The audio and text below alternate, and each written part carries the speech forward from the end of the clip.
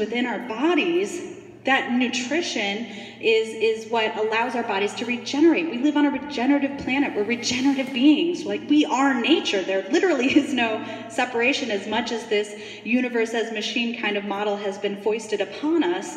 We truly are part of this ecosystem. And so when we return to understanding that you know, just because you're sick doesn't mean you're sick forever or have to be on a pill forever or can never get well again it's really exciting to reclaim the foods that help to nutrify us at that level. And this is where you can see many of these types of potential positive benefits coming to light.